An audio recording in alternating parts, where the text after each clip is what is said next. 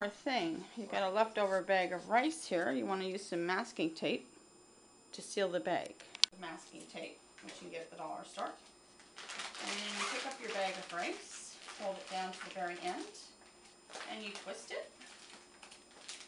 And then you seal it with your masking tape a couple times around. And if you want to date it, you can, if you want to keep track. But there you go.